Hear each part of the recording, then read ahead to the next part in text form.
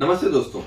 कई पेशेंट्स ने हमसे पूछा है कि root fix technology conventional root repair meniscus repair से किस तरह से बेहतर है?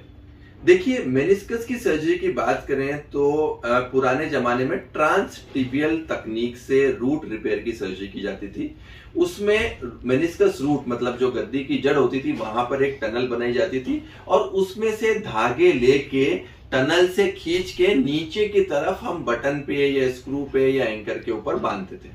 अब इसमें बहुत ही बड़ा लीवर आर्म होता था, क्योंकि जो मेनिस्कस है वो बहुत ऊपर फिक्स हो रहा है, जो नीचे फिक्सेशन है वो नीचे है, लंबे जो धागे हैं वो एक्स्ट्रा पड़े हुए हैं तो बहुत ही जो है टेक्नोलॉजी वो पुराने जमाने की थी।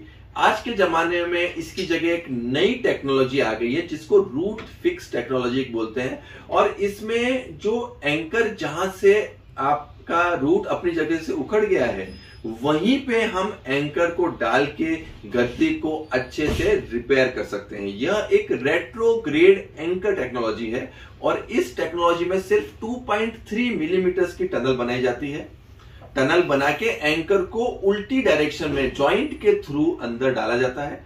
यह जॉइंट जो कार्टिलेज है, उसके जस्ट नीचे एंकर अपनी जगह पे बैठ जाता है और एंकर में से चार महीन पतले पतले धागे निकलते हैं और ये एक बहुत ही लो प्रोफ़ाइल तकनीक है मेनिस्कस रूट को रिपेयर करने की। जब हम meniscus root repair root fix के माध्यम से करते हैं, वो बहुत ही ज़्यादा हमारे पास उसमें ऑप्शंस अवेलेबल होते हैं, बहुत ही ज़्यादा हमारे पास उसमें फ्लेक्सिबिलिटी रहती है और बहुत अच्छी तरह से किसी भी तरह की गद्दी अगर फटी हुई है तो उसको हम अपनी जगह पे बहुत ही बेहतरीन तरीके से रिपेयर कर सकते हैं। तो दोस्तों, अगर आपको मेनिस्कस में टेयर है मेनिस्कस रूट टेयर हो गया है तो डेफिनेटली मेनिस्कस रूट रिपेयर की रूट फिक्स टेक्नोलॉजी के बारे में जाने और उससे सर्जरी कराना प्रेफर करें। धन्यवाद।